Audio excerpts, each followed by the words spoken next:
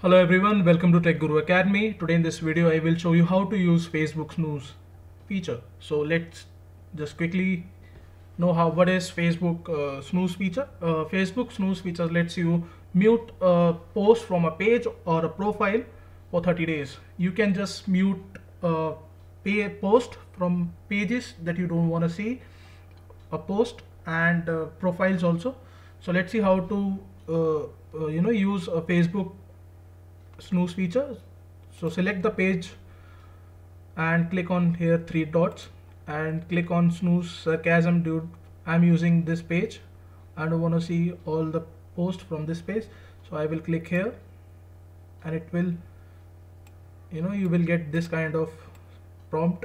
You won't see post from sarcasm dude for 30 days. Okay?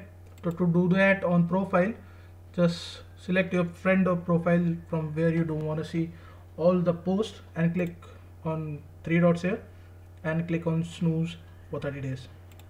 What it will do it will just you know mute all the posts from that particular page or particular profile for the next 30 days. And you will get uh, a notification when it's about to end the 30 period days period okay? So i hope you like this video. If you do then please subscribe to our channel for more updates